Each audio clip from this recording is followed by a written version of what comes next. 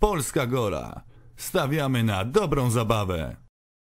No a jak dajmy na to, yy, sędzia będzie przekupiony i, no i ten puchar yy, przypadnie komu innemu. Ale kto przekupi? Przecież ja sędziego opłacam. Gąsiorek. Przy telefonie. Gąsiorek, jak cię złapią za rękę, to może to nie twoja ręka. Natürlich. Tęcza biało-czerwoni, tęcza biało-czerwoni, tęcza biało-czerwoni, tęcza biało-czerwoni. A czemu oni nie grają, tylko dyskutują? Strategię omawiają.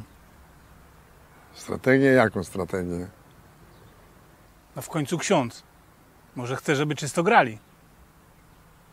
Pół dnia tutaj na pana czatuję.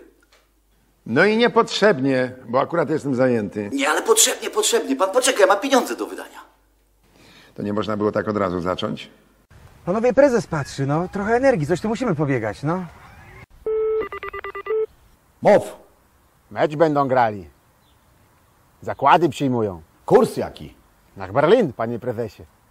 Na Berlin. Gąsiorek, ty musisz kask poluzować, bo ci krew do mózgu nie dopływa głąbie. Ja się pytam, kurs zakładów jaki?